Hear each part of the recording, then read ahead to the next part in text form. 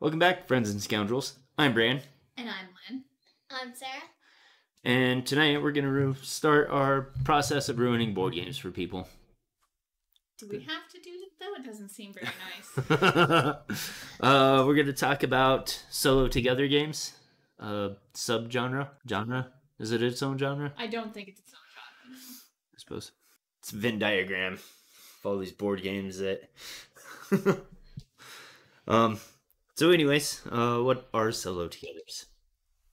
So I guess solo togethers are just generally games that you play with other people where you interact very little, not at all mechanically. So it's a multiplayer game, but you don't interact with other players very much necessarily.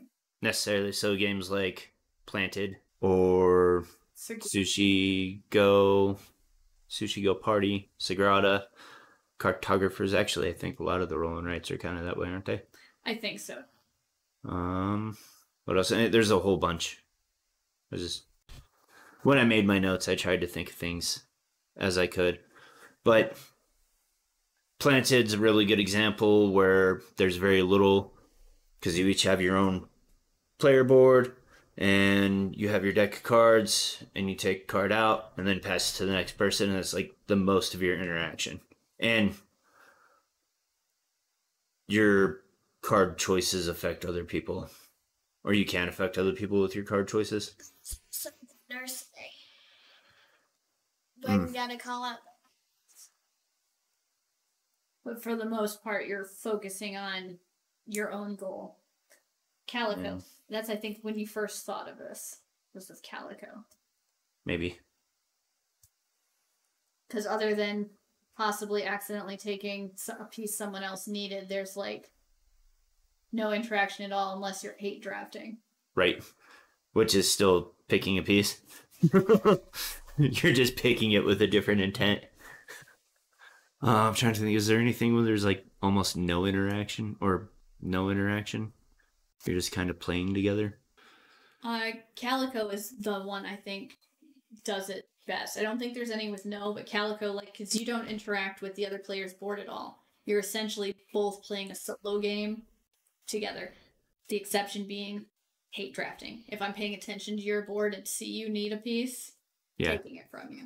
But again, but that would stick me with that piece if it was made sense for me to do that. yeah yeah that's probably the closest unless there's like some roll and writes like cartographers obviously not because you can well the one that we have Heroes. Yeah, because you can put monsters on other people's stuff and other things. I don't know about any of the other ones. Uh, Most of the expansions are map packs. Yep. They are, so it doesn't really change play that much. I was trying to think of Three Sisters, but you're taking dice off the rondel, so you are taking dice that the other person can't. So, anytime there's drafting, Time distracting. But that's probably the minimum if that's all it is, just drafting. And you're just sitting there hoping the other person doesn't take what you want. Same with Sushi Go. Sushi Go is also drafting. It's closed Mhm. draft. So, most of them have like one mechanic that you interact with other people. Oh, we did talk about quite a few examples. Are there any others? No? I don't think so. I think we got a little more into that than we intended to. That's fine. These are just basic notes. You don't even have to read them verbatim. Didn't. I went off script a while ago.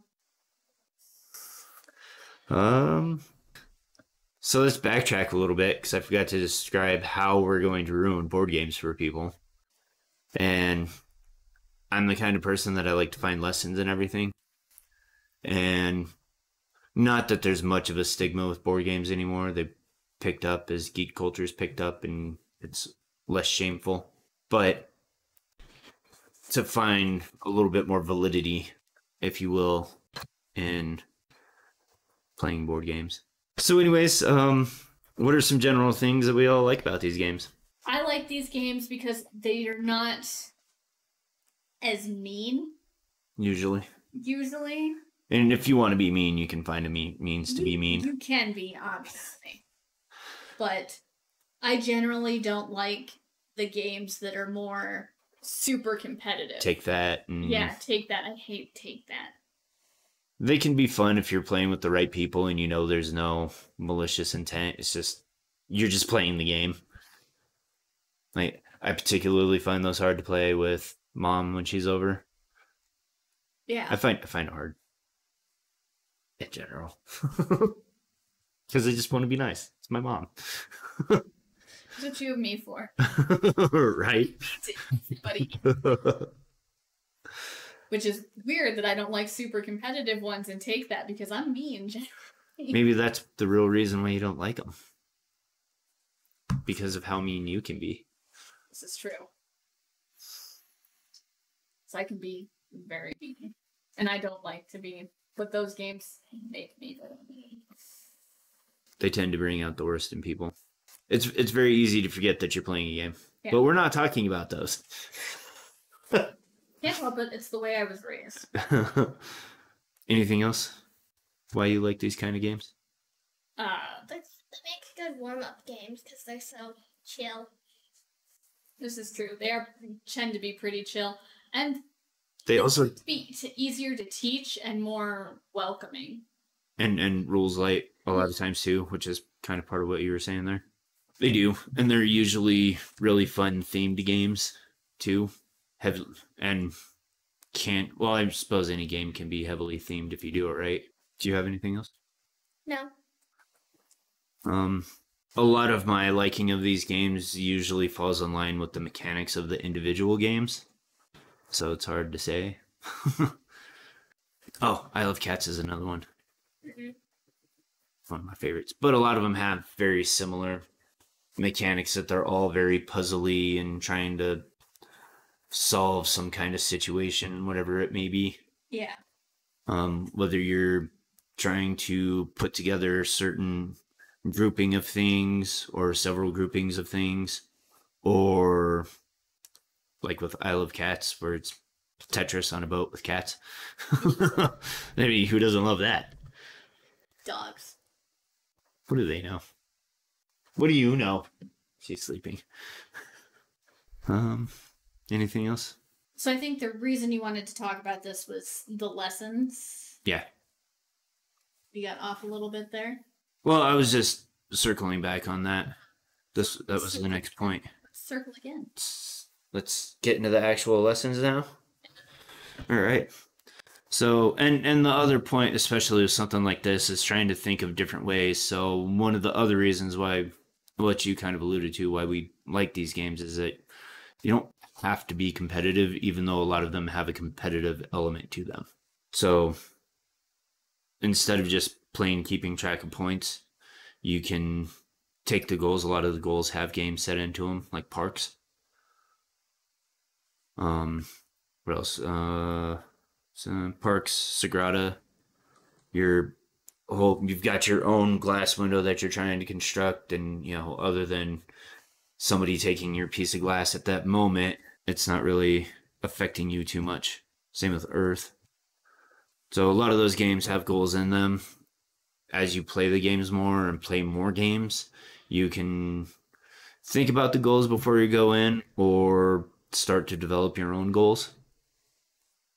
Setting personal goals. Yeah, like scoring better than you did the last time. Hot take. I think generally, uh, beat your own score. People don't tend to like that. I don't mind it. It? I don't know. I can't speak to that necessarily, especially other people's brains. But I would imagine part of that is because maybe you're getting outside of the normal rule set.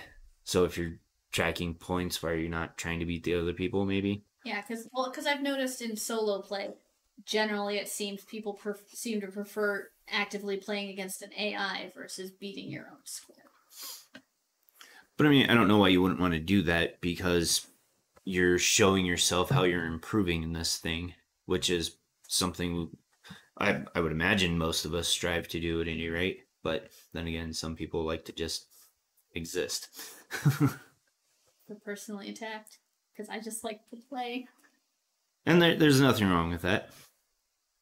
With just wanting to play and yeah, setting your own goals or just playing against a goal. Like Parks is one of the better examples that I know of offhand because there's you've got to get what is it? So many parks with this many resources or whatever on it, or something like that. So that's a fun, interesting challenge, and you don't have to worry about what the other player is doing at all. Is there a score element? Yeah, but do you have to use it? No.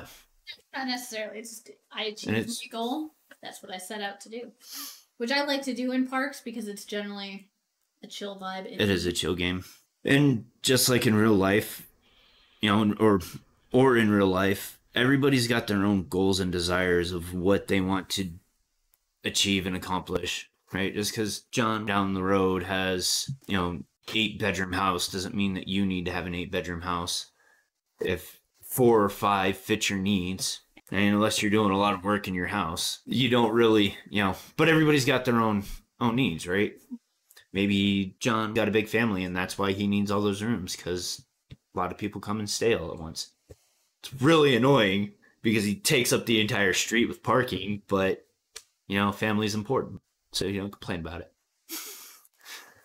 But also, a lot of times we forget that the guy who's taking the big house and the big boat and the car that he barely fits into also has to give up a lot of stuff in his personal life. And that's true in these games too. If you try to do a lot more. It's still possible to score a whole lot, but you end up giving up other aspects. because you try to do everything, but you can't. Right? So it's a good opportunity to help teach yourself to focus in on some things a little bit more too. We're learning skills, people. I really like those games. Ones where there's so much to do that you can't possibly do everything, so it's different every time. You can focus on different things. Yeah. Yeah, Planted's a fairly decent one. You can focus on getting plants that require certain resources and focus on cards that give you a lot of those resources. Or you can just let the guy next to you not pay attention to what you're doing and just keep collecting all the bonus cards. Which that's one of the things that helped kick this off. Was when that happened.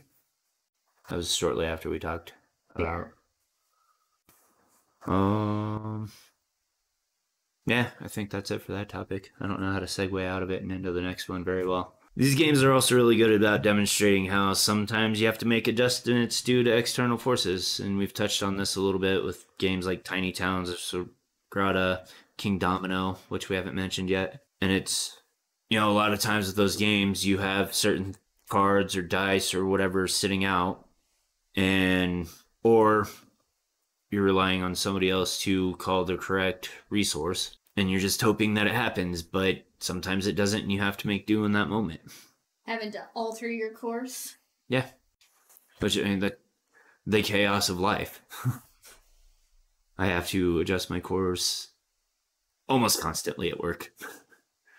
I live in a very I exist in a very chaotic work environment. Yeah, because there's there's games that you can plan for it, so there's not a lot of unexpected things happening. Like Spirit Island, you know what's coming. Yes, what's um invading you don't know, but you know what's ravaging and what's building, so you can plan. Yeah. You know the next step. Yeah, you know the next step. You don't have to suddenly on your turn change your decision because the piece you were waiting for is taken. Planted's not too bad either, especially if you're paying attention to what everybody else is doing. You can kind of guess what they're going to do. But you do have an idea of what cards are going to be there next time based on what there is and what the hot cards are, too. You know, those double resources or really good item or whatever.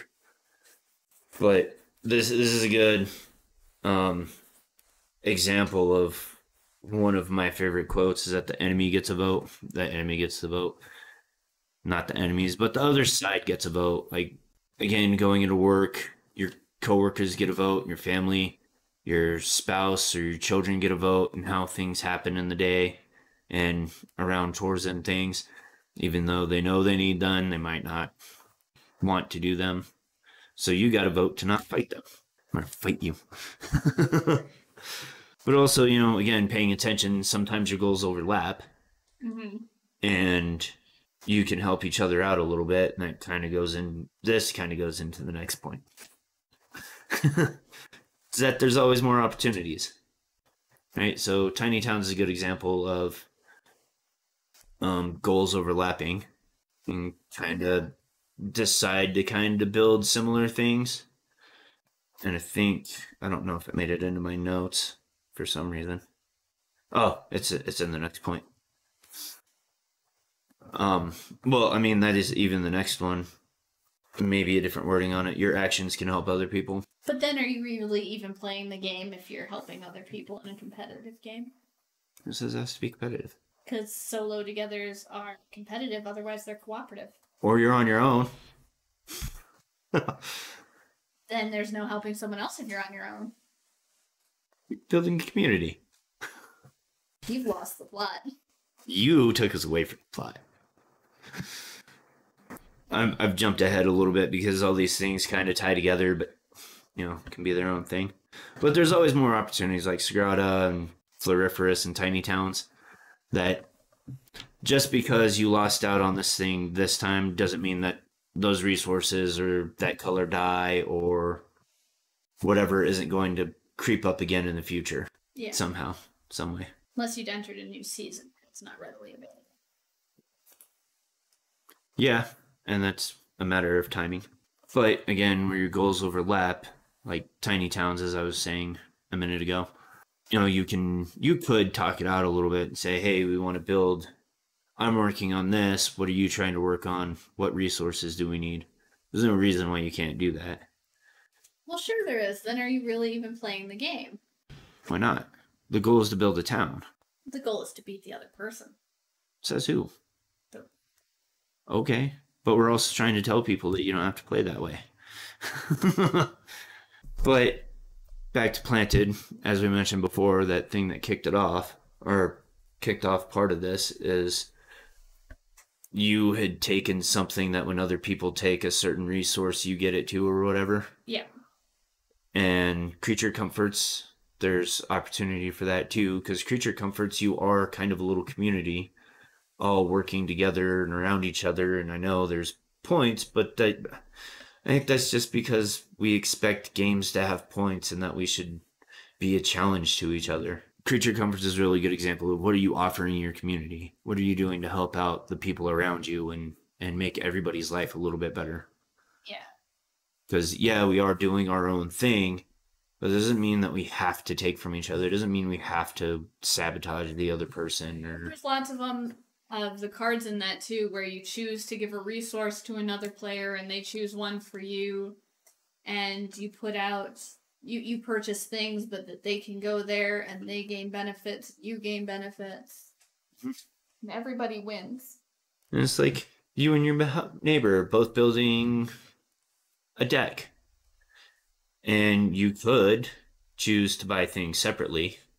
Or maybe if you combined your order and got everything all at once, it would make things a little bit cheaper for everybody. But you have to talk to your neighbor before you can do that. Uh, it's just some random idea that I thought about. And you've got other instances of, of these games too that just because someone else does something doesn't mean that you can't do it too. So my main example for for this is Floriferous, where you've got the day goals or whatever, Yeah.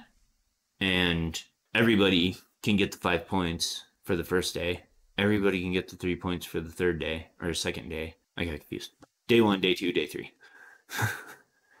was combining all the numbers.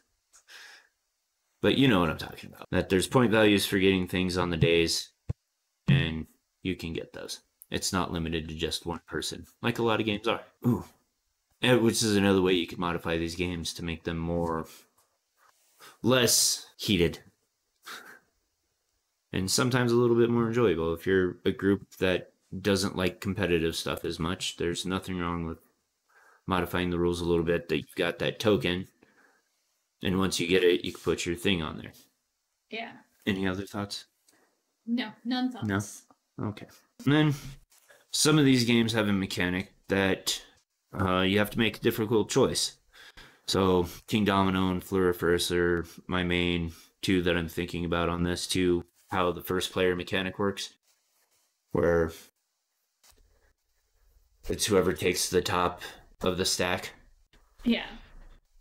as the first player the next round or whatever it is. next round of choosing.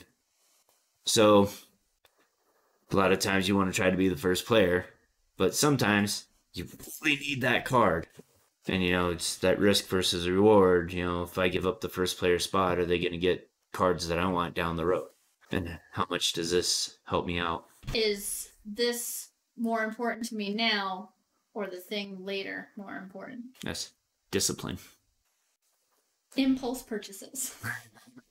Yes, those get everybody. Some people more than others. but uh, it is a very important thing that I think a lot of people are lacking in life in general, just from my personal observations. And it leads to a lot of other problems down the road. So, another area where you can use games to teach yourself some skills to be a little bit better, to make those little changes that you want to make in your life, if you want to make them. All right, well, I guess that's it. Maybe we'll have to revisit this later when we're a little bit better. So, anyways, um, thanks for watching. If you enjoyed this, uh, let us know by liking it and by sharing it with somebody you think will also enjoy it. Uh, if you've got any other ideas of how solo togethers can be more friendly or more personal goal oriented or whatever, a lot less competitive, however you want to word it, let us know down below. Let other people know down below because it's not just about us. It's hard to remember all the things I'm supposed to say. So just say nothing. Everyone knows. Everyone knows that the links are down below. Knows to like and subscribe too. This is no one's first day on YouTube. hmm And that being said, till next time, live to roll. Is that a spider? There's dice rolling.